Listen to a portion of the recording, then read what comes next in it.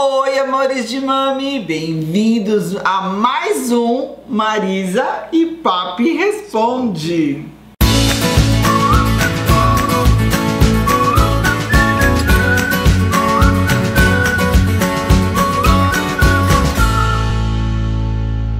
E hoje nós vamos responder perguntinhas que vocês enviaram no Instagram. Papo, tem perguntinhas picantes aqui. Você está preparado? Bora lá, gente. É, são muitas perguntas. Fico muito feliz pelo carinho de vocês. São muitas perguntas, espero responder a maioria delas, mas vai demorar muito aqui. Vamos lá. Uh, a Carol Jimenez 2015 pergunta: Depois de tantos anos de casado, o que faz para não cair na rotina? E quais os segredos da juventude? Te acho com aparência de 35. Ai, que me dera. É só não olhar o pescoço que dá uns Dá uns 45, 35 é exagero. Mas o que, que a gente faz para não cair na rotina, amor? Ah, às vezes cai na rotina também, É, né? é, às vezes cai na rotina. Mas a gente sai com os amigos, a gente vai jantar com os amigos, a gente vai jantar sozinhos, pra... a gente vai muito no cinema, né, bem?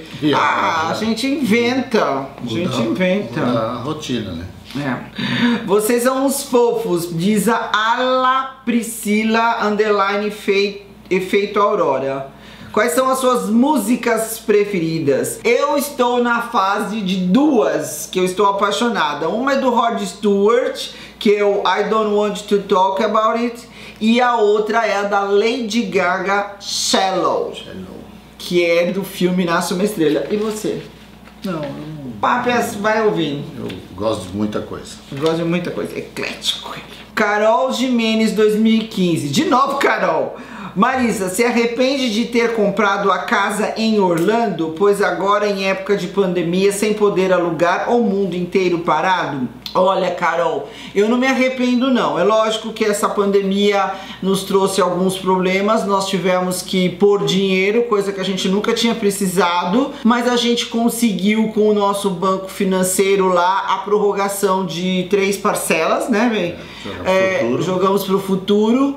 É, o, o Airbnb está pagando 20, 25% do valor das reservas canceladas, o que está ajudando um pouco para As despesas. nas despesas. E ontem a minha casa teve uma locação por 40 dias. Então o estado da Flórida, ele- o estado da Flórida, ele não está deixando é, alugar para temporada, mas está deixando alugar por mais de 30 dias. Então ontem a minha casa alugou por 40 dias e a gente deu um ru que vai dar uma boa aliviada nos custos, mas eu não me arrependo não. São fases, é uma fase que eu nunca vivi. Acho que nenhum de vocês aqui viveu uma fase tão, E é tão um diferente. investimento, né? É, um Como se investimento. tivesse investido na bolsa também, É. caiu.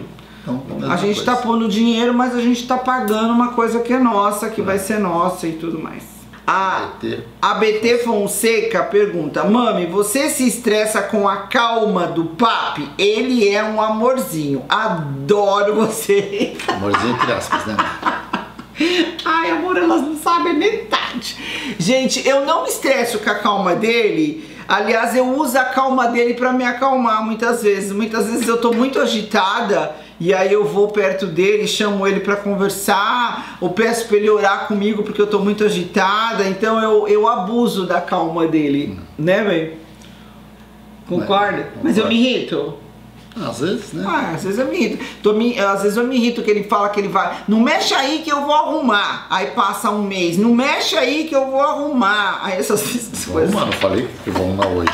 Da Mirandinha pergunta: já pensou em escrever um livro? Gente, um livro tinha, teria muitas histórias pra contar, mas eu já propus pra editora Planeta, vocês podiam ir lá no Instagram deles dar um, uma catucada.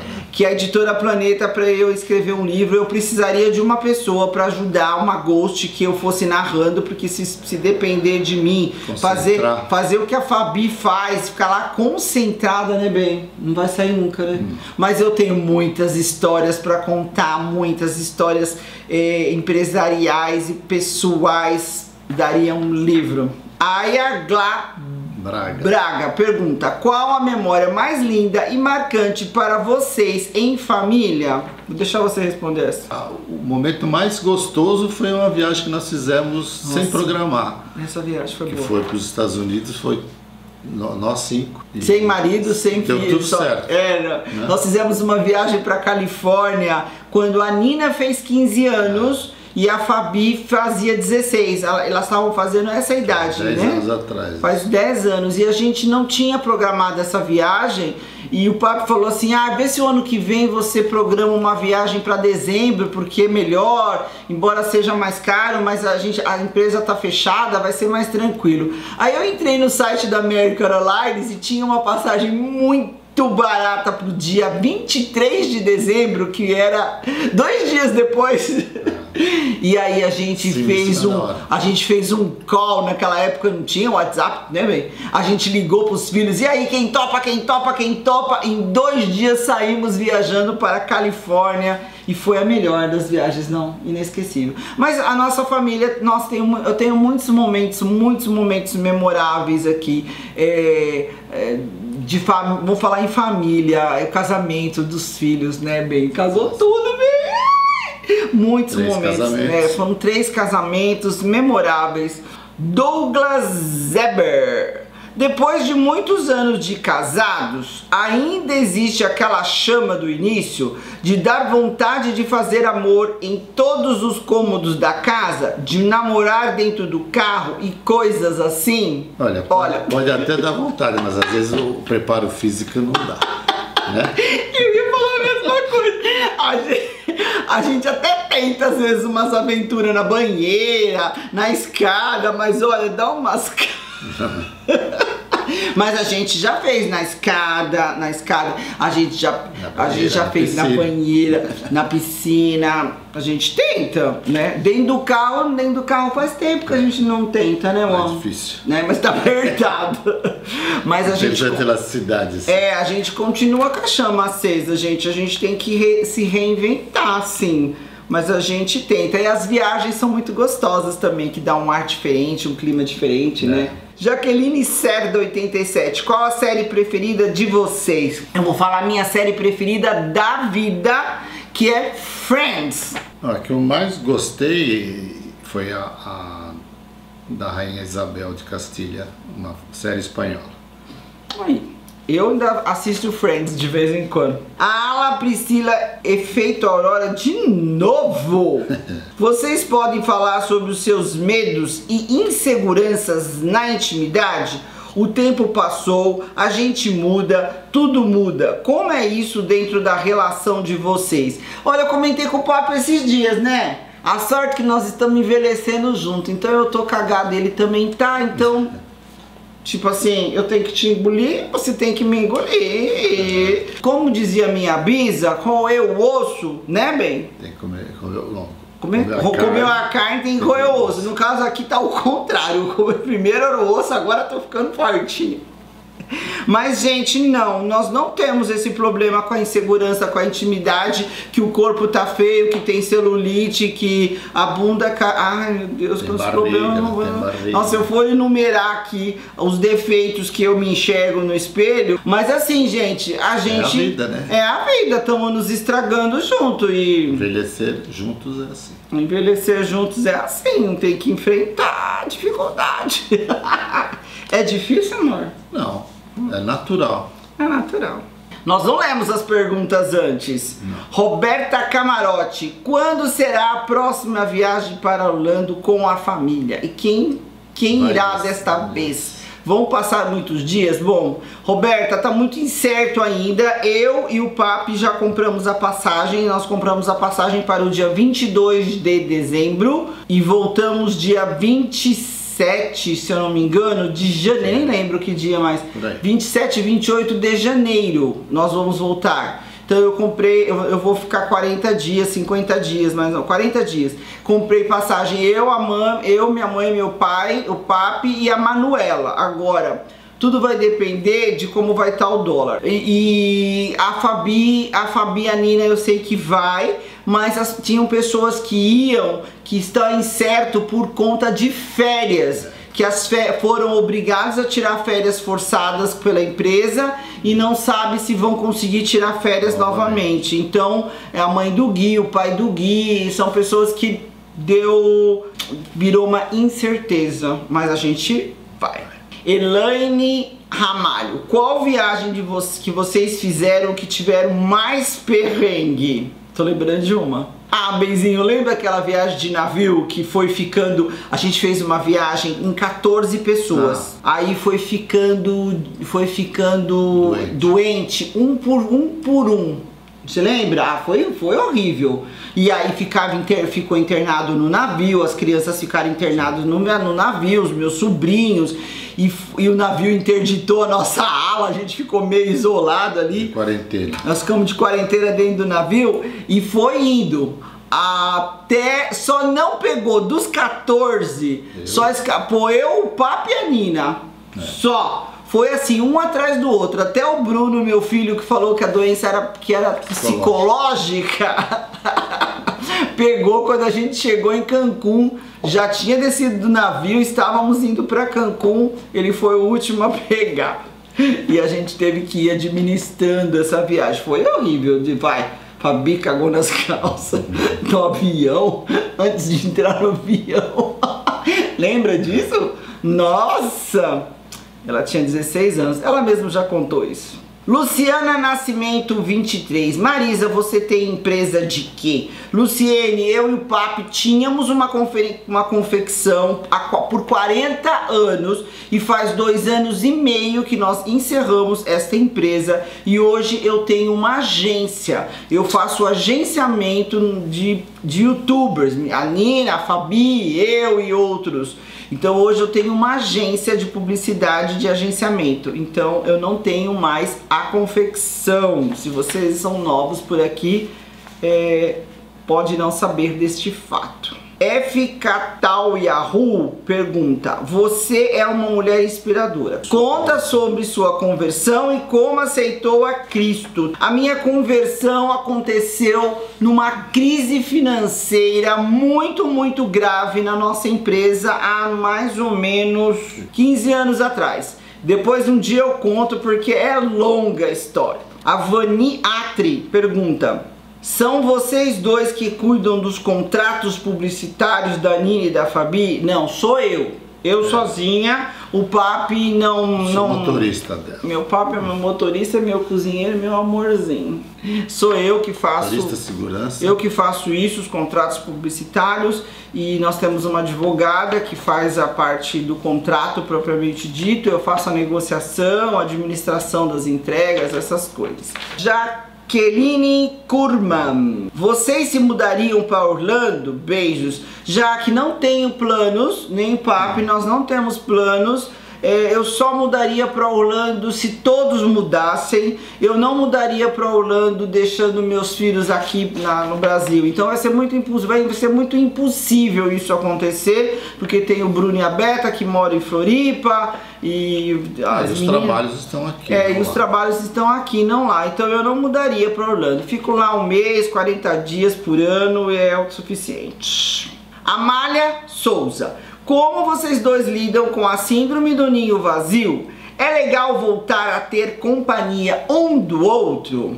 A gente, é, é, é bem melhor a gente ter novamente a nossa companhia um do outro, que a gente fica mais próximo. Não que a gente não era quando tinha os filhos, mas é que agora é só nós dois mesmo, né?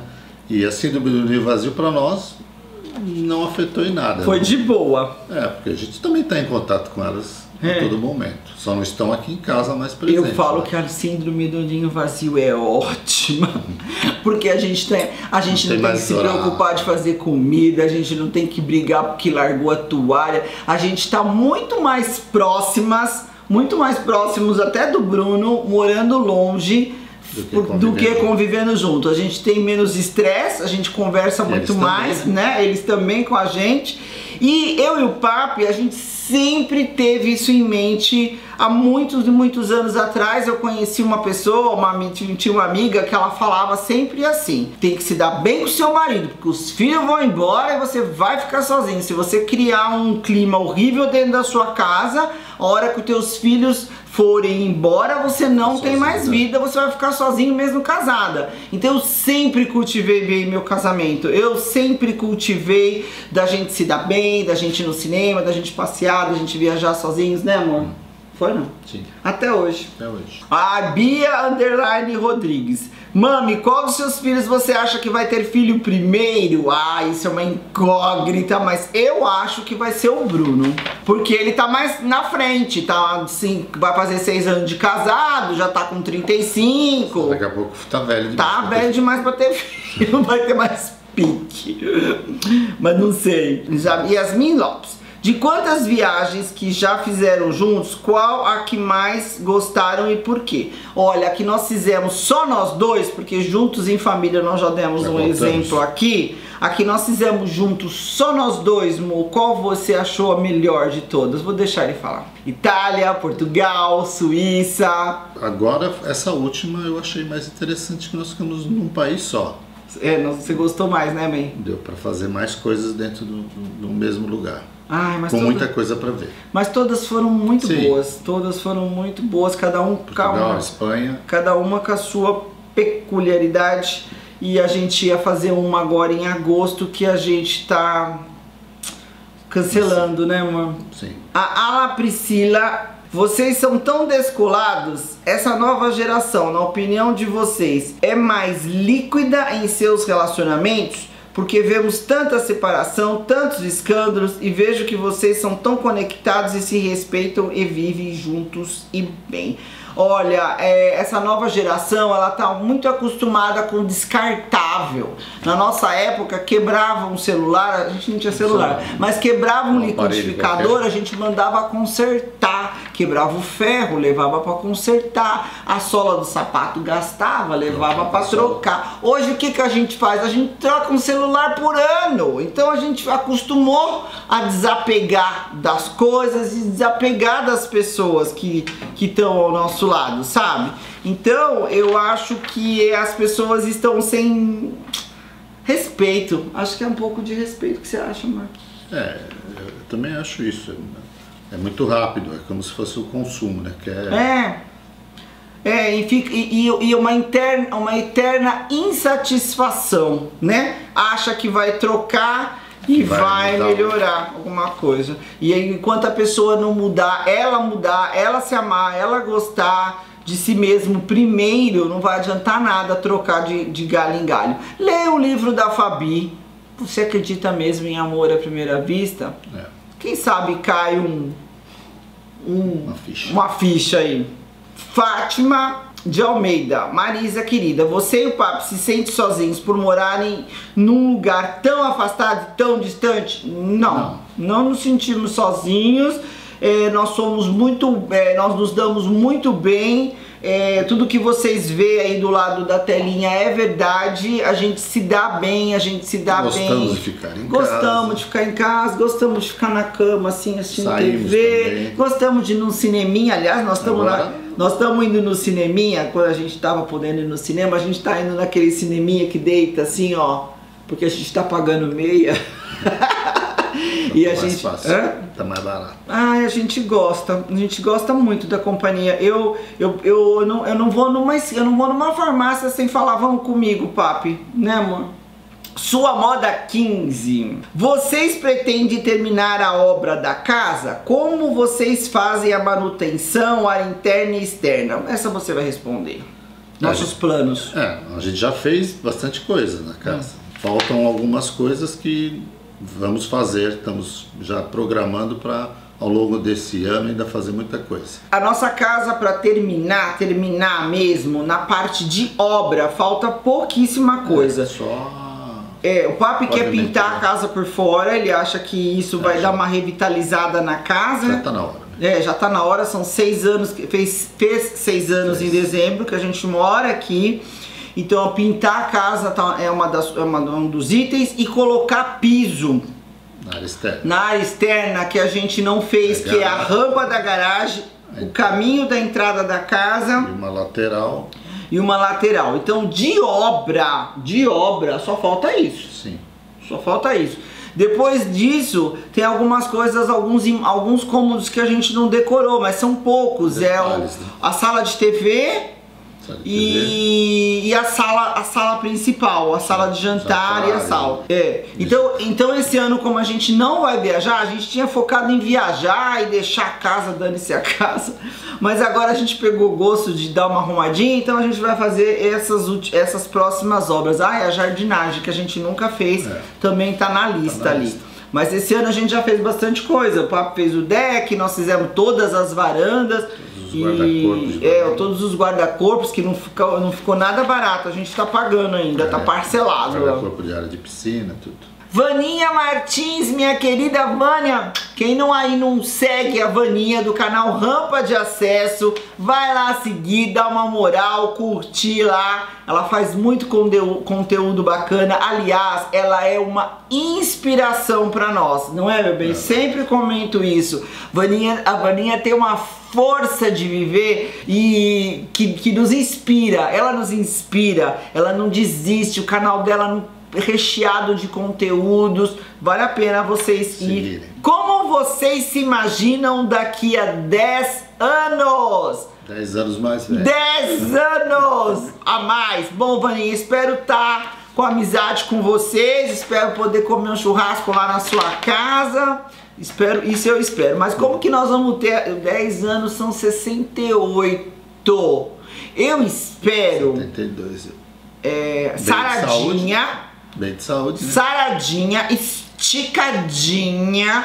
Não quero uma bengala dourada, ainda não quero com 68 anos. Eu espero estar com energia e com saúde. É isso que nós vamos buscar assim que passar essa pandemia. Se exercitar, deixar tudo durinho, tudo durinho e continuar vivendo a vida um dia após o outro. Pra chegar daqui a 10 anos, a gente quem sabe a gente tá junto aqui, né, bem, pra compartilhar. E você, amor, o que vocês pretendem nos seus 10 anos? Tá bem de saúde para poder estar aproveitando a vida. Comigo, Viajando, né? Sim. Viajando, passeando. Stephanie. Sonens. Como está sendo a vida de aposentados? Bom, eu não estou aposentada, Papi também praticamente não está muito aposentado, porque ele me acompanha em tudo, mas é uma vida muito mais tranquila do que a nossa vida de empresários. Nós tínhamos uma vida de empresário muito puxada, que se eu tivesse com a empresa aberta hoje, em tempos de pandemia, eu estaria arrancando meus cabelos então é uma situação que hoje eu agradeço a Deus por estar na situação que nós estamos. Então nós estamos aqui trabalhando num ritmo menos acelerado, mais tranquilo, sem dívidas. Le Arbigos. Mami e papi, contem como se reergueram após as falências para nos mostrar nesse período que há luz no fim do túnel após uma grande quebra financeira. Bom, Lê, eu e o papi, a gente teve três ou quatro grandes crises financeiras. É- Era diferente, porque naquela época a gente tinha um. A gente tinha na mão, na nossa mão, uma, um poder de decisão. Então, então o que, que a gente tinha que fazer? Bom, tem que vender, tem que correr atrás de cliente, tem que diminuir os custos, tem que demitir funcionário e a gente tomava as decisões e seguia. Esta situação de pandemia é uma situação que eu nunca vivi e eu tô sofrendo demais de ver muitas empresas fechando. Eu tô todos os dias, né, papo? Todos os dias a gente coloca nas nossas orações para que eh, que tudo isso acabe logo, para que dê sabedoria para os nossos governantes, para que deixem retomar a economia, porque eu estou muito arrasada com tudo isso. Não está me afetando financeiramente, mas está afetando os meus meus próximos, está afetando vocês que estão aí me assistindo. É, eu, tô, eu, eu tô numa situação muito privilegiada para para reclamar, mas eu tô, eu tô angustiada de ver lojas fechando, demitindo, é, é, situações de Empresas que vão quebrar e não vão conseguir se Empresas que não vão conseguir se reerguer, gente, porque eu já fiquei em situação de não ter dinheiro. O banco não te empresta quando você está quebrando. O banco não te empresta quando você está devendo. O banco ele é só garantia. te empresta se você der uma garantia real para eles que eles vão. Por isso que o lucro deles são daquele jeito que são, eles não perdem. Hoje, todos os bancos me mandam diariamente querendo enfiar empréstimo na minha empresa ou na minha vida pessoal, goela abaixo todos os dias, mas quando a gente precisava, ah, não tem, não tem. O dinheiro não vem para essas horas. Eu e o Papo, mesmo em situações muito regulares, com a empresa muito redondinha, nós nunca conseguimos um financiamento do BNDES. Nunca. Não. Todos os investimentos é. que nós fizemos na nossa empresa foi com recursos próprios. É só foi... porque é amigo dos políticos. Nós, nós conseguimos, nós, nós, nós reinvestíamos o nosso dinheiro, nós, nós nunca conseguimos um financiamento de BNDES. Então hoje, se, se a pessoa estava numa situação de já estar tá se segurando, querer a gente viveu várias, de estar tá ali se prorrogando, de estar tá ali. Pra... É, eu não sei, eu não sei. Eu acredito que quando a gente for se dar conta, muitas empresas já vão estar fechadas, muitos empregos vão ser perdidos, muitas vagas de empregos vão ser perdidos. Mas nós somos brasileiros, nós somos. É, é. nós, segue, nós temos forma. fé, nós temos esperança e a gente sabe que nós vamos se reinventar. Então tá todo mundo se reinventando. Muitas amigas minhas de confecção estão fazendo máscara, estão fazendo máscaras para o governo, estão fazendo máscaras para vender para internet, vendendo para hospitais. Então tá todo mundo dando um jeito de se virar. Sobre tentar sobreviver. É para sobreviver. E quando a gente tá nessa fase financeira de sobreviver, a gente tem que fazer escolhas, porque o dinheiro não dá. Então você tem ali uma receita e você tem ali um, uma folha de pagamento, aluguel, imposto e você tem que dar um jeito disso aqui equilibrar. Só que tá difícil dessa aqui subir. Então o que tem de mais fácil fazer é essa aqui descer. Então demite-se, não paga aluguel, é, atrasa aluguel, não paga imposto, prorroga, reparcela no banco. E é isso que os empresários estão vivendo. Eu tenho conversado com vários empresários, a situação está muito crítica, muito crítica. E infelizmente nós estamos vivendo, eu acho que a pandemia, não é a pandemia o nosso grande problema, nós estamos vivendo uma crise política. Nós tínhamos que nos unir como brasileiros, nós tínhamos que nos unir, esquecer a política e nos unir para nos reerguer. O que os americanos fariam em tempo de guerra era se, era se unir. E eu não vejo essa união. Eu não vejo essa união de ninguém. Se eu abrir a minha boca para falar o que eu penso, eu sou massacrada. Eu acho que não era tempo de, de política, era tempo de união. Só isso. É isso que eu. É assim que eu termino esse vídeo porque eu tô muito sentida com a nossa situação do país. Muito obrigado para vocês que assistiram até aqui. Ficaram muitas outras perguntinhas para outro vídeo, porque já se estendeu demais esse aqui. E essa pergunta me tirou do equilíbrio. Muito obrigado. Um beijo. beijo. Até os próximos vídeos. Bye. Tchau. Obrigado, meu amor.